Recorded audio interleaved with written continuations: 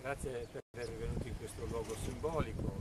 Ci rendiamo conto che è una conferenza stampa un po' anomala, abituati a farla al nostro punto di incontro, stavolta invece siamo in un luogo simbolo di, di Carrara, nel, nel luogo in cui è crollato l'agine ormai circa tre anni fa. È un luogo simbolo perché è un luogo che rappresenta uno strappo, strappo tra l'amministrazione e i cittadini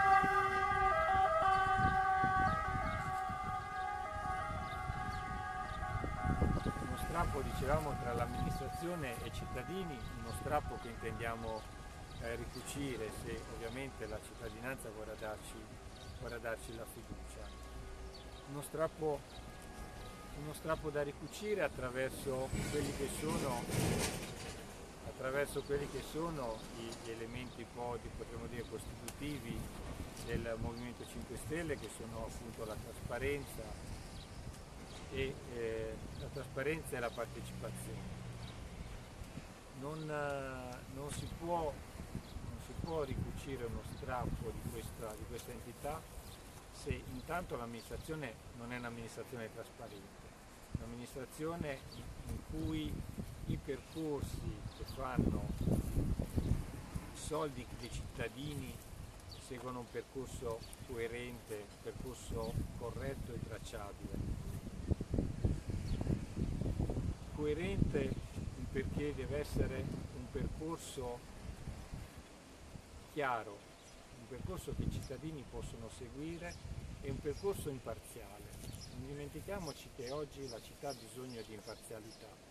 Un cittadino non può sentirsi escluso dal partecipare perché ha idee politiche che non collimano con quelle dell'amministrazione. E poi soprattutto la partecipazione. Non dimentichiamoci che la partecipazione da parte del Movimento 5 Stelle è fondamentale. La partecipazione significa che il cittadino deve riappropriarsi di quegli spazi che i partiti gli hanno tolto. Partecipazione significa poter agire direttamente su quello che fa l'amministrazione. Come si può fare? Si può fare attraverso gli strumenti di democrazia diretta, in primis il referendum, i referendum che possono essere di vario tipo, referendum deliberativi, referendum propositivi, eh, al limite anche abrogativi, cioè sono vari strumenti che permettono al cittadino di dire la propria opinione sui progetti che l'amministrazione comunale presenta oltre al referendum ci sono i concorsi di progetto, i concorsi di idee, cioè degli spazi in cui l'amministrazione stessa chiede ai cittadini di poter intervenire, di potersi proporre per suggerire idee all'amministrazione. Noi sappiamo di non avere la partita sappiamo di non essere ogni, né onniscienti né onnipotenti quindi chiediamo appunto ai cittadini di farsi avanti, perché i cittadini le idee ce le hanno.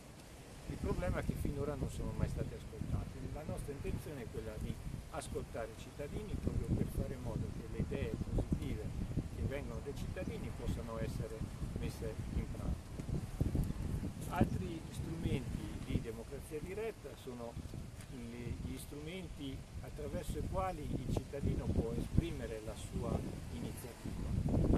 Per esempio il bilancio, il bilancio partecipativo, in modo tale che il cittadino sappia, appunto come dicevo prima, dove vanno a finire i soldi con cui paga diciamo, le, i servizi che il comune gli offre.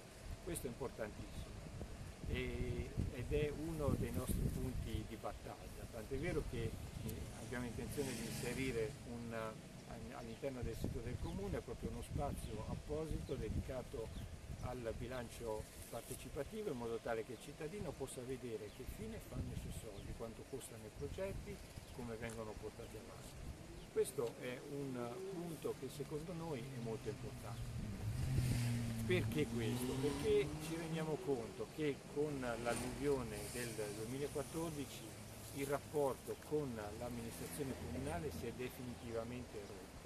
Il fatto poi che il sindaco abbia detto noi non ci sentiamo responsabili, ha realizzato uno strappo ancora più grande rispetto a quello che è stato il crollo del muro. è crollato proprio un sistema, un sistema che noi vogliamo ricucire.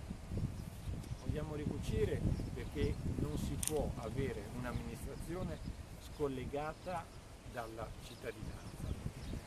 Eh, pensiamo al, all'occupazione della, della, sala di rappresentanza, non dimentichiamo i consigli comunali in cui in più occasioni si sono rischiate, sfiorate le risse, eh, in cui le proteste sono salite veramente alle stelle. Significa che la città ormai non ne può più di una classe politica che è ora che volti pagina. Siccome questa classe politica non, non ci crediamo che possa voltare pagina, l'unica possibilità che abbiamo è quella di cambiare pagina nel vero senso della parola, cambiando quindi proprio amministrazione in tutti i sensi. Noi come Movimento 5 Stelle ci sentiamo in grado di rispondere a questa chiamata dei cittadini. I nostri punti forti sono, come abbiamo già illustrato in precedenza, tre punti, la cultura, il marmo e il turismo. Attraverso questi tre punti noi siamo sicuri di poter ricostruire un tessuto economico di cui la città ha estremamente bisogno. Non, non riteniamo velleitario la nostra idea, secondo noi è un'idea concreta, reale, attuale. Non dimentichiamoci che tutti i progetti di eh, di reindustrializzazione partoriti in questi decenni in realtà non hanno partorito grandi risultati. Abbiamo cattedrali nel deserto, abbiamo situazioni per cui oggi la città è in tutti i sensi da ricostruire, dal punto di vista appunto industriale dal punto di vista occupazionale. Pensiamo solo alle strutture che mancano, ai teatri che sono ancora chiusi, alla mancanza di cinema, se non parzialmente recuperati dal, dal, dalla riapertura d'uso cinematografico del Garibaldi. Abbiamo veramente tutto un tessuto da ricostruire culturalmente, socialmente e fisicamente.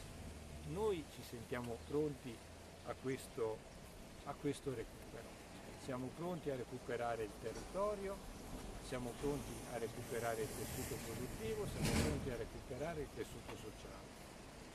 Uno degli esempi che noi vogliamo fare di eh, recupero del territorio ce l'abbiamo proprio qua, questo fiume che è croce delizia della città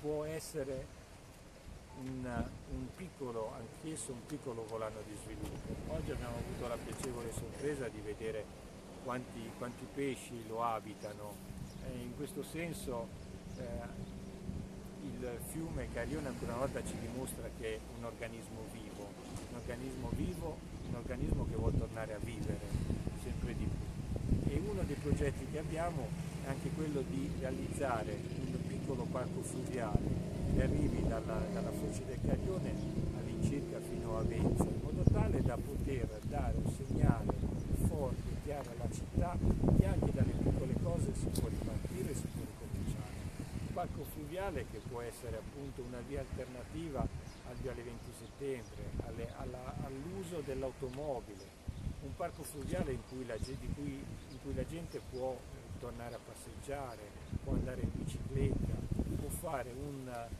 diciamo, una vita all'aria aperta di cui oggi la città ha bisogno. Bisogna riappropriarsi degli spazi che in questi, in questi anni ci sono stati negati. E questo è un altro esempio delle tante cose che si possono fare in questa città martoriata, in questa città che ha bisogno di essere ricostruita. Questo senso l'appello che facciamo ai carraresi è quella di cambiare, dare la svolta a questa città perché ha bisogno di essere ricostruita realmente in tutti i sensi. Vi ringrazio.